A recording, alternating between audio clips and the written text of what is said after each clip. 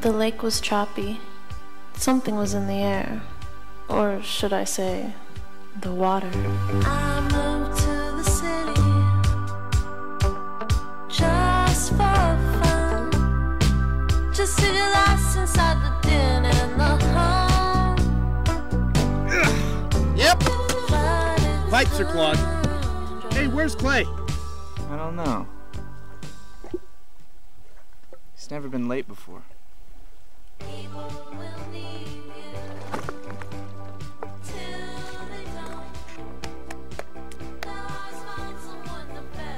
There he is. Why's he dressed like that? I don't know. But I don't like it.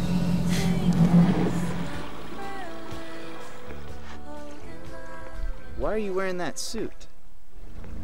It's time for me to go. Go to where? I gotta go back to my old life as being a businessman. What is business?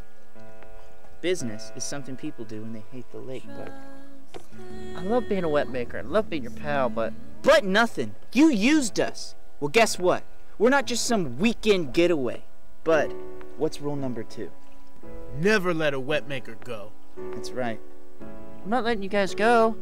I just gotta go back home. I got kids. You've got kids? That's Tony and Ratcliffe. The girl's Ratcliffe. The boy's Tony. I used to be a kid. I had a dad who went on a snowmobiling trip in Jackson Hole and never came back.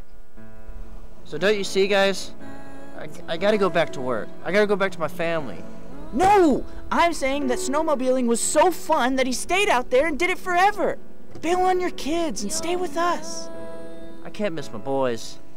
I mean, Ratcliffe is going to the seventh grade, and I think Tony might make the All Star team baseball. He's been hitting a lot of home runs, and I can't miss him. I guess this is goodbye. And I could find a new love. But he'll never love me like you We will miss you. like you And if you ever need us, just get a little wet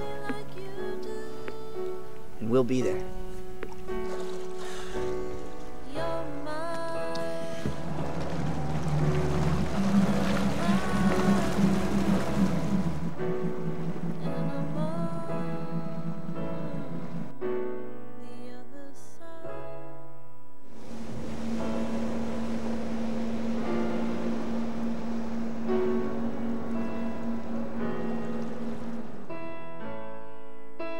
Back to the real world.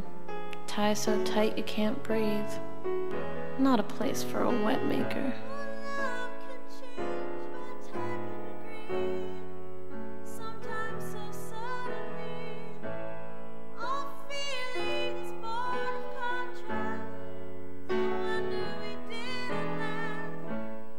And if you ever need us, just get a little wet